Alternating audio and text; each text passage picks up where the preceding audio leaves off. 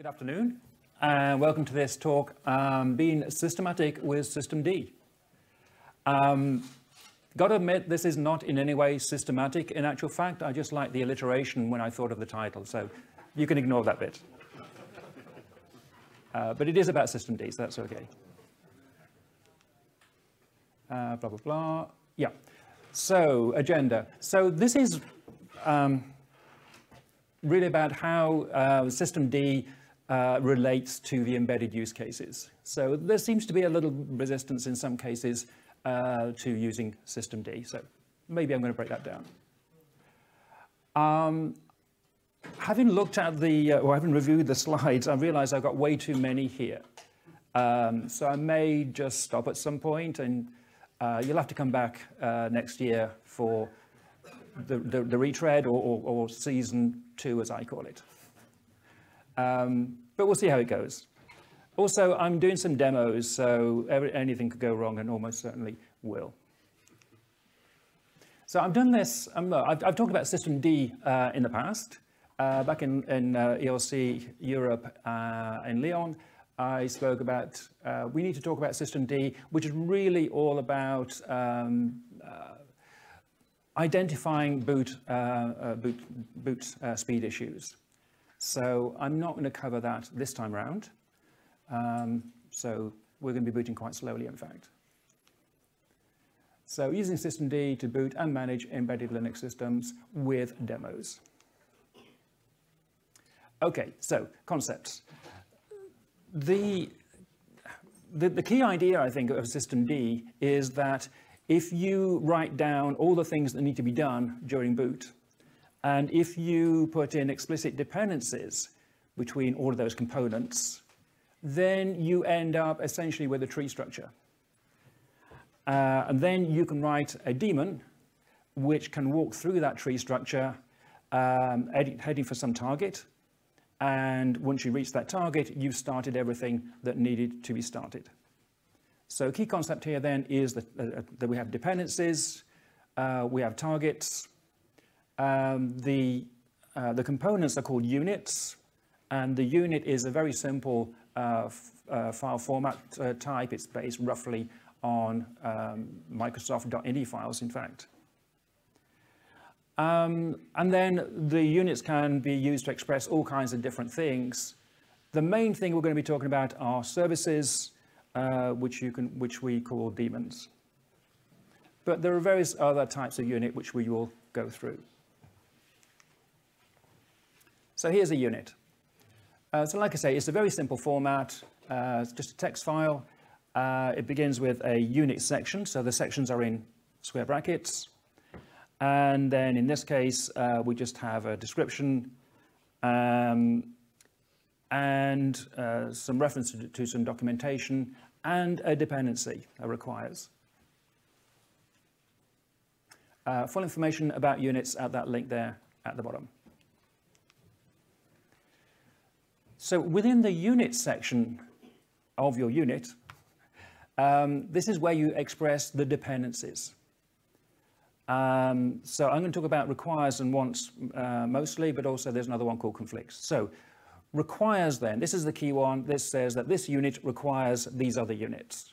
In other words, when I activate this unit, I must also, or rather systemd, must also activate these other units. Uh, we have also another keyword called wants, which kind of does the same thing, except it's not fatal if you can't start the other units. Whereas with requires, that is a hard dependency. It's a fatal error if you can't start those units. And then there's also a thing called conflicts, which is a negative dependency. So that is saying that this unit cannot coexist with some other units. And if we try and start this one, we must stop the, must stop the other ones first. And I want to introduce the idea of an activation queue. So these three keywords are going to add, or in the case of conflicts, remove things from an activation queue. So that's a list of things that systemd has to do as a result of whatever caused this to happen. Now, two related but different uh, uh, keywords are before and after. So these are not dependencies, these are to do with ordering. So in other words, when we process the activation queue, in which order are we going to process those, um, th those units? So fairly straightforward. Before is a list of things that must run before I run this unit, and after, things I must run afterwards. Uh, so here's a simple example. Um, uh, yeah, if I'm starting uh, a web server, then uh, in this case we have it must be after the network target. The same is reasonable. We don't want to start the web server until the network is running. So let me illustrate this with a rather crude diagram. So, and I, I, want to get across this idea of the difference between dependencies and ordering. They are different concepts within systemd.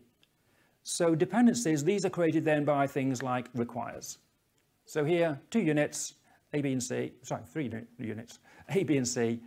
Uh, when I start A, it's going to start B and C because they are dependencies.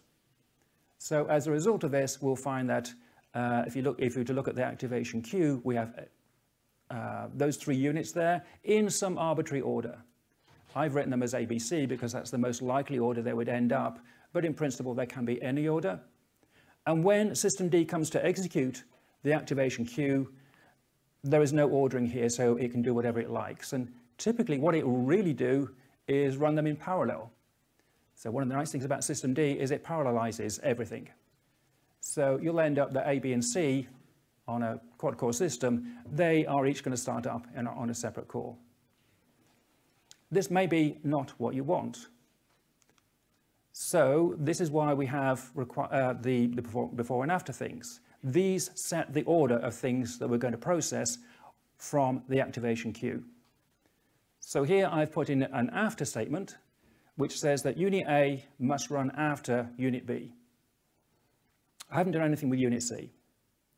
So in this case then, the activation queue um, will run uh, B, then A, and C, we don't know. It will, it will run C at any time it likes.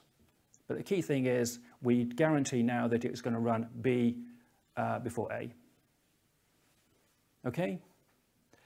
Um, so, question for the audience then. What do you think will happen if I leave out the requires and leave in the after? So supposing between A and B, I have an after statement, but no requires. So who thinks that will run unit B?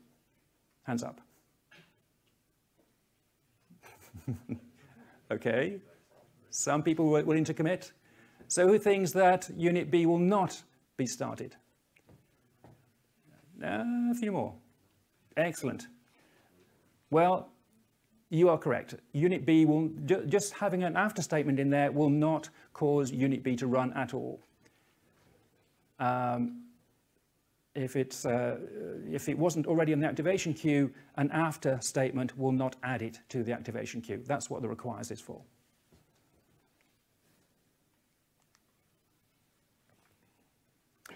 Okay, so these units, um, they are um, stored in, in, in, various places in the system, and this is the search path that systemd will go through when it's looking for these units.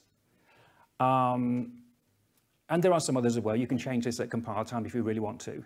Uh, but the basic idea then is that the distribution-wide, the, the, the, default set of units are going to be in lib system D system, but you can override those by putting uh, um, other versions into either run systemd system or etc systemd system.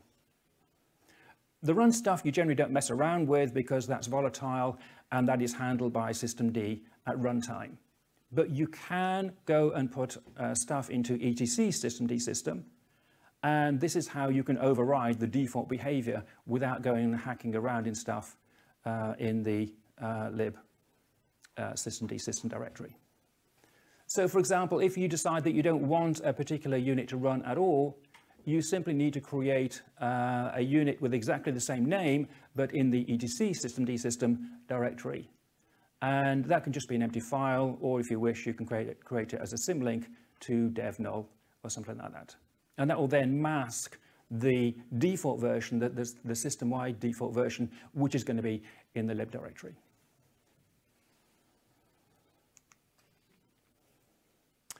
Okay, so that's got the basis of units out of the way. Let's start doing something useful with them. So we want to start services. So a service is a daemon, it's something that does something. So for these, we have units that are something.service, and they must have a service section because that's where you say what the service is. So here's a simple example. Um, this is a, a, slightly edited version of the light TTP daemon uh, unit. And you can see we've got a service section there. We have an exec start. So that's the command line that is run when we start, um, uh, in this case, lighttpd. And um, just for the fun of it, there's also an exec reload statement which says what will happen if we restart it. So quite often daemons have a restart function which is different from shutting it down and starting up again. In this case, it's going to send it a SIGHUP uh, to, the, to the daemon. So a little bit more detail on that. Um, first of all, types of service. So we can have um, First of all, simple services. So the majority of services fall into the simple category. Since this is the default, you don't have to actually put anything here. So a simple service is just a program you want to run in the background, um, end of. Um, but it will be restarted. So if that service terminates for some reason, hopefully it won't, but if it did, the system will automatically restart it. If you don't want that, then you declare it to be a one-shot. So that means we'll start the service once. When it finishes, we just forget about it. So one-shots are handy for things um, which it means running a program and then you're done. So it could be a shell script would be a good example of doing that. Something which you just, just want to do once, for example, at boot time, which does something, then it's done. Um, the third type I've got here is uh, forking services. Um, this is a little bit obscure, I guess, but if you write a service, sorry, if you write a daemon in the traditional uh, Unix way, um, which you can do using the daemon uh, um, uh, system call, then that means that when you, when you launch it, it then automatically, it actually forks a new copy of itself and runs in the background. So it daemonizes. So if you have a service uh, of that sort, then you have to declare it as being a forking daemon because it means that it's going to do the backgrounding within the program itself rather than being backgrounded by systemd. Um, start, exec reload we mentioned. Oh yeah, one other random thing, which was from the previous uh, slide. Uh, notice down here we have this reference to dollar $main PID. Um, so $main PID is actually um, a environment variable set up by systemd, and as you might expect, it is the PID of the service that was started. And in this case, um, we're using that to refer back. So we, when, when we send the seek SIGHUP uh, we know where to send it to. There are a whole bunch of other environment variables which I haven't gone into, um, but um, if you do a man systemd exec, that will tell you.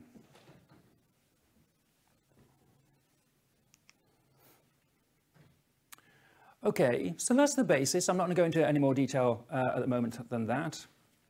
Um, in a moment, I'm going to do a demo.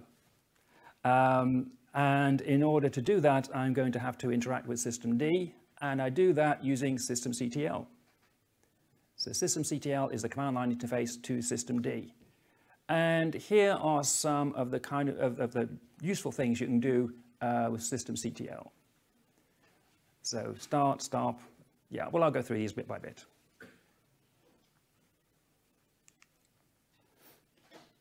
Now, for the demo, I'm going to be using Yocto project because what else would I use?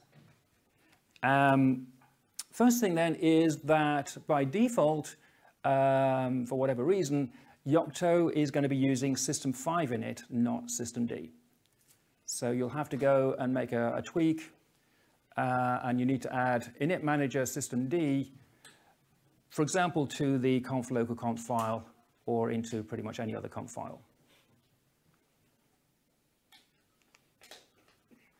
Okay, so demo part one. So the demo is to start a daemon called Boris. Um, so Boris is a completely useless demon. Um, yeah, I, th I, think you've got it. You've got it. Um, and um, so it's built using uh, Yocto, not exactly the latest version, apologize for that. I never quite got around to uh, rebuilding the whole thing since I uh, put the original demos together. Um, and anyway, so it's, um, uh, it's a version of uh, Kirkstone um, using systemd 250 and is running on QEMU ARM. So bear with me, this could go wrong, but it may not, you never know.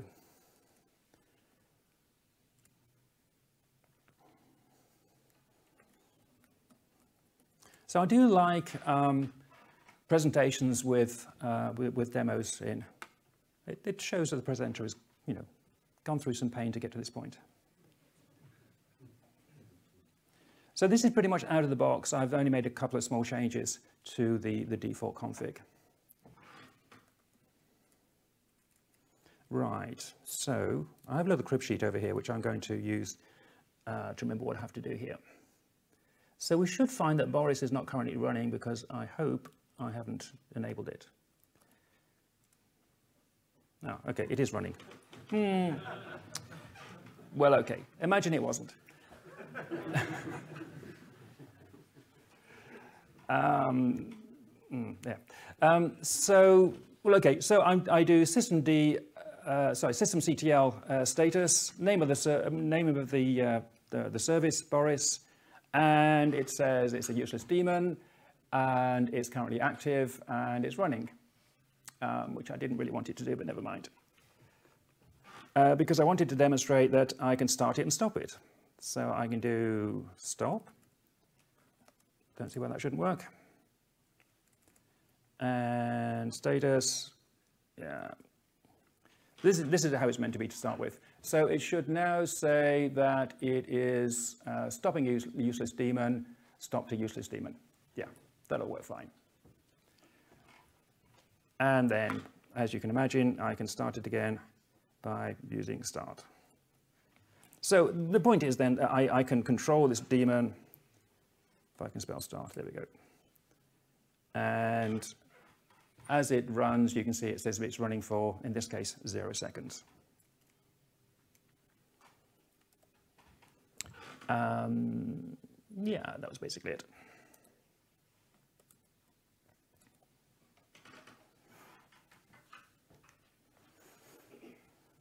Okay, so that um, has got over the idea, I think, of services. Services are daemons, that's easy. Um, let's talk a little bit about targets and dependencies. This is, in my opinion, slightly non-intuitive. So a target is another type of unit. It ends in dot .target. Um, but the targets themselves don't do anything. They are simply a, um, a, a, a configuration point and then we can have things depend on those targets so that when we reach a certain target, it will have started a whole bunch of daemons. So a good example of this is the multi-user target. Uh, so this is the, the uh, entry for the multi-user target. Um, and you can see it requires basic target. Uh, it conflicts with some things, and it should come after the basic target and after rescue service and rescue target have been stopped. And so you can see then that there are other targets. In this case, we have basic targets being referenced here. And if you were to go and look at basic target, you'll see that depends on some other targets. The slightly confusing thing is that when you start looking at the dependencies of targets, they all they mostly just depend on each other. And you, or at least I got to the point of thinking, I don't know how this works. How does anything start if it's if it's only targets and the targets don't actually do anything? come to that in a moment. Oh yes, the default target. So what target are we going to launch at boot time? That is the default target. And that is usually done as a symbolic link to the target you want. So in this case, the default target is going to multi-user target as we just saw. And you can just change that uh, symbolic link if you want to start a different default target, or you can do essentially the same thing, thing through a systemctl uh, command, or you can even do it through the kernel command line. So back to these dependencies then. How do these dependencies actually work if there aren't any explicit dependencies on services in these targets? So it turns out there are these things called uh, outgoing, sorry, these things called incoming dependencies.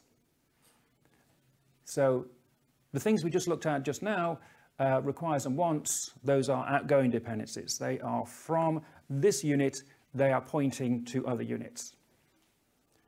Incoming dependencies, as you can probably guess, go the other way. And they are expressed through the keyword wanted by.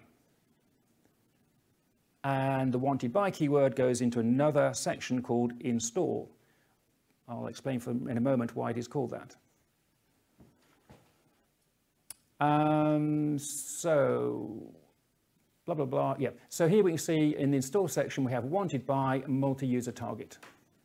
So that says that when the multi-user target is started, this is, a, this is a dependency of the multi-user target, so this will get started.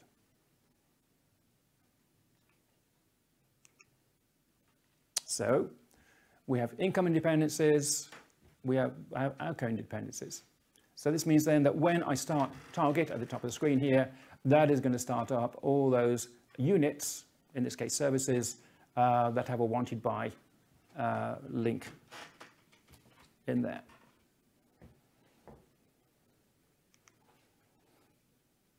So how does this actually work? Um, so the secret here is the idea of installing or enabling uh, a unit. When you enable a unit, you, uh, systemd will process the install section and it will install the wanted by link. And in actual fact, that is done as a symbolic link. So if I enable my simple daemon, and then if I go looking into system etc system, I find there's a directory called multi-user target.wants. So this is where the wanted by links go. When I install simple daemon, it puts a link in that directory to my service. And then when we get to the um, uh, when we get to the multi-user target, uh, it's going to go through all these links and add those onto the activation queue. Okay, so that's it. So wanted by is putting a link into me so that when the target, usually, uh, is started, it will add me to the dependency queue and then my program will get to run. Um, yeah, so you may wonder why do it in this slightly obscure way. Um, the reason is that if you weren't, if we didn't have this facility, then every time I added a new service to my system, I would have to go and edit the multi-user target. And I'd be forever adding things in and taking things away, and the whole thing becomes unmanageable. So by not encoding that information into the target unit, and by instead encoding it in the system unit that you're installing, then it becomes much more modular.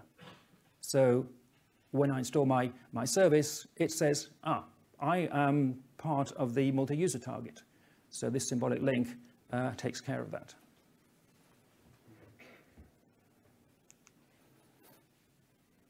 Okay, so in order for that link to be created, then you have to run the system and do systemctl install, uh, sorry, systemctl enable, da da da. That obviously doesn't work so well, um, particularly in an embedded case where nobody's ever going to do that. So you can add uh, an extra couple of lines to your uh, uh, bitbake class, and you just need to add this stuff here, basically. There is a, um, there's a BB class called systemd, and then you just tell it what the service is that you want to belong to, uh, simple daemon service. That will then install the unit. The unit has an install section. The install, install section has a wanted by uh, statement. So that when I build this, I'm going to find that this symbolic link to my uh, daemon has already been created as part of the Yocto uh, do root fs build. So now boot it up, and in this case, simple daemon will be running.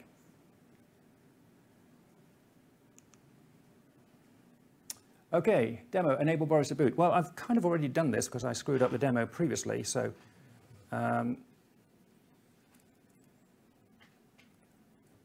but I can show, where's my crypt gone to? Yeah, well, I can do it from here. Um, so yeah, if I look into uh, etc uh, systemd, system multi-user wants. And so now you can see uh, Boris.service is a symbolic link now to Boris.service. So that's why it keeps on uh, booting up. And I forgot to do essentially a factory reset before I started the demos. Never mind. Uh, but you can also see there's a bunch of other things that have been started up using the same mechanism. Um, what else did I want to do? So we can look at dependencies.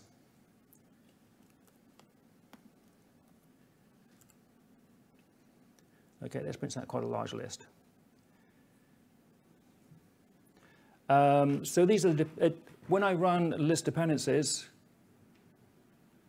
as I just did, um, by default, it's going to give you the dependencies of the default target. So that's why default target is up here at the start. And then you see all the things that depend on that and, and the dependencies of those and so on down the tree. And somewhere, yeah, there it is. Somewhere we can see here is Boris in that list. Good old Boris.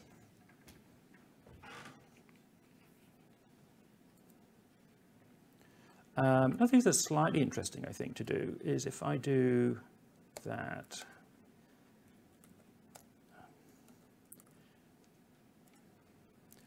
so if I just crudely um, just look at the targets in my, in my, dependency tree, these are, here you can see the, the, the hierarchy of the various targets. So here's the default target. That depends on basic target. You know that because it was in the slide. Hope you remember this uh, from about five minutes ago. Uh, basic target then depends on some other stuff, and then some others and some others. So you can see the, the hierarchy uh, of the various targets. And I could, if I want to, go into more detail about this, but I don't have the time. Uh, but you can see that the, the, most basic targets are local FS target, which is going to mount the local file systems, swap target, which is going to mount the, the swap. Um, sysinit is going to start anything that needs to be started as a result of that, and so on and so on.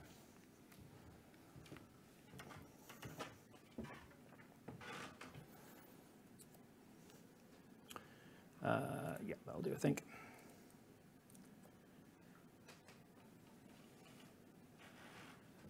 Okay, right. So that was, that's the 101. Um, I don't know, probably good if I, I do a, does anybody have any questions at this point? Now would be a, a, a suitable time to take uh, questions so far.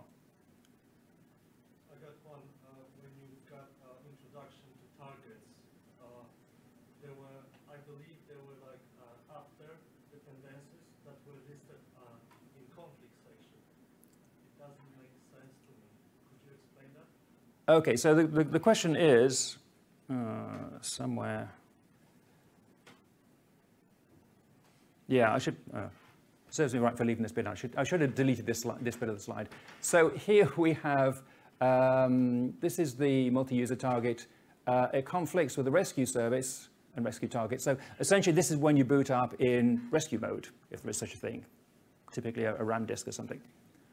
Um, but after uh, basic, sorry, after basic target, which makes sense because that's the, in, the, in the boot up sequence, but also it has after rescue service and rescue target, which are these two things here, which is kind of slightly weird. What it means is, uh, counterintuitively maybe, after they have been stopped. So if they were to be uh, started, we would have to, I'm not, sure this actually could work, happen actually in practice. Uh, but yeah, it just means that we need to make sure that they have uh, finished stopping before we can start this service.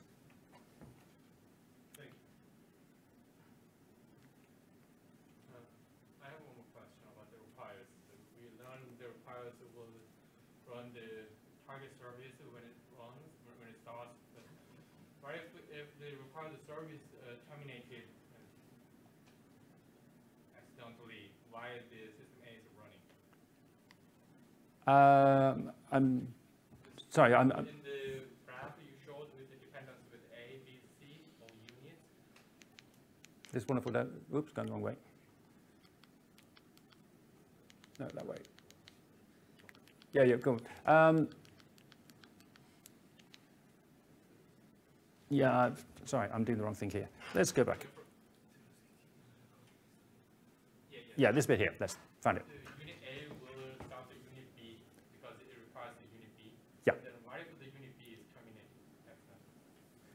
What happens if unit B is terminated? Yeah, then unit A will remain? Um, the most, the, the simplest configuration is, uh, as, as, as we're going through here, the simplest configuration is that if unit B stops, then that's fine.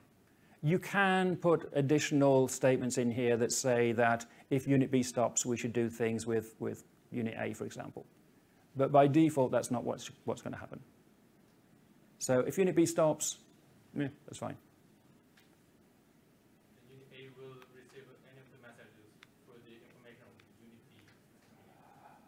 You can configure that, but that, that's not, that's not a, a case that I'm, I'm, going to go into. But yeah. Okay, one more question, then I'll move on. But yes, sir. Um, will the dependencies also matter if you disable or stop service?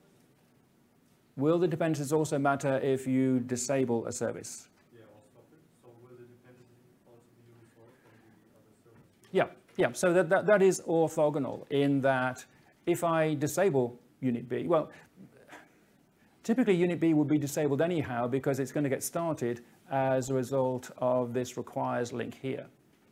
So you would have a, uh, you would have a wanted by link to uh, unit A, and then as a result of that being activated, that will then follow the outgoing dependencies from that, and so it will start up these.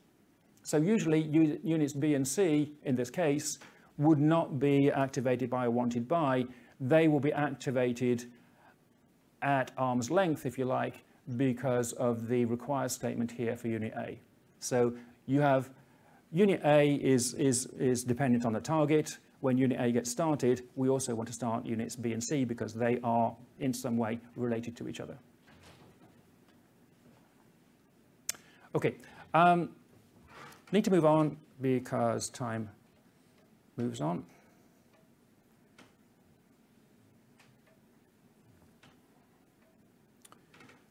So, um, uh, um, what time do we finish? We finish at, can somebody tell me what the, what the end time of this is? I forgot to make a note of it. Okay, thanks. Yeah, so I'm going to have to go through the next bits fairly quickly. I might go into Steve Rostedt mode. If you know Steve Rostedt, you know what I'm talking about. Um, but I'll try not to be too, um, yeah.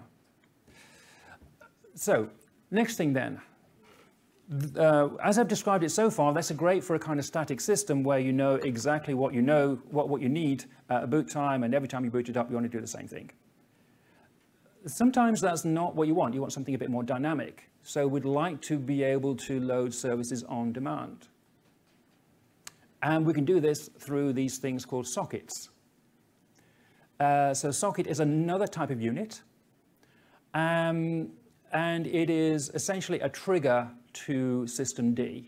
So when the conditions of the socket are, are met, then systemd will do something. It will start a service typically. So for example, uh, here I have a socket unit called foo.socket. Um, it has a socket section and it says listen stream 1234 accept no, come to that in a moment. And it's, um, it's got a wanted by on the sockets target. So this means then that uh, as a result of this, uh, system D will be listening on TCP socket uh, 1234. When we get an incoming connection on socket 1234, it's going to start, what's it going to start? It's actually going to start foo.service. Come to that in a moment. So, sockets are the way that we can trigger events and then have systemd run other units for us. Uh, the most obvious example of this would be um, regular sockets. So we can have uh, TCP sockets, uh, we can have local sockets, but we can also have a bunch of other things which aren't really sockets at all. So we can have FIFOs, device nodes, um, okay, that is a socket, messages, um, and um, USB FunctionFS endpoints. So all of these things you can arrange the system, systemd to launch something when there is an event on one of those things. By default then, it's going to launch a service with the same name as the socket. So my foo socket is going to launch a foo service. If you don't want that, then you can override that with in the uh, socket section, you can put um, uh, a service, and you can give it a different service name, and that'll be run. Uh, as well as sockets, you can listen on uh, files. So in this case, listen special dev rfkill. When we get any kind of input on dev rfkill, that's going to trigger this socket, and that will then run the rfkill service. Okay, so there's no filtering here. It, it, basically, it's just going to open that file and do a read. Actually, it's going to do an epoll on that. When we get uh, some data arriving on that uh, file, that then is going to trigger this thing. Um, service templates. I'm going to have to skip this because, um, as I expected, we're running out of time. Um, so I just skip that stuff. And I'm also going to skip the demo, but I was going to do a demo of uh, launching SSH. So if you were to look at the, the, um, the implementation, it is by default not running an SSH daemon. But when I make a connection to it, um, there is a socket for port 22 that will then launch, in this case, dropbear, and away you go. Um, similar concept are with timers. So this is another type of unit something.timer. Um, it's a similar kind of concept in that this is an event, but now it's a time-based event. So I can say after something, so delay for some number of minutes before we run a service, or we can do it on a, on a regular basis, like a cron job, or whatever. Restarting services. Again, going through this fairly quickly now. Resilience. So when your service terminates, what do you want to do about it? Well, you can do this with the restart option. So we have, uh, da, da, da. I'm going to go through this fairly quickly. So on failure is the most useful one. So that says if my service fails, or if the, the program fails, then I want to restart. Of course, this may not always give you the result that you want you can end up where you keep on restarting and it keeps on uh, going, uh, you know, it's just going to crash again. What else is it going to do? So you can put rate limiting on this uh, as shown here. So this says, if it terminates twice in 30 seconds, then give up. We're no longer going to try restarting this thing. You can also do other things. You can get it to run a program. So on failure, we can actually get it to run another service which could do some kind of remedial stuff. And you can take it to the extreme and actually put on failure action reboot. So that when my service fails, or when it's failed um, two times in 30 seconds, I'm going to reboot the system. Maybe that'll fix it. Quick bit, bit about watchdogs. So with a watchdog, we can have a service um, that is going to uh, ping uh, systemd on a regular basis. If the pings are timed out, then we want to go into a failure state, and then we can recover in the various ways we just talked about. So we do this by putting watchdog sec 30, um, and then restart on watchdog. When the watchdog times out, we're going to restart this service. To make this work, you need to put a bit of code into your program. You need to call sd_notify with that string. You can also have systemd itself protected by a hardware watchdog. Um, you just put a bit of code into the systemconf, and this says that systemd, when it starts up, is going to use the hardware watchdog if it's, if it's available, and um, uh, but, but, yeah, so in this second uh, section here, you, you give the, the timeout, say 30 seconds or a minute or something. Resource limits, going to have to go through this pretty quickly. We can put limits on things so that we, uh, um, yeah, so we can put limits on, on CPU usage, on memory usage, and that's it. there we go. Thank you.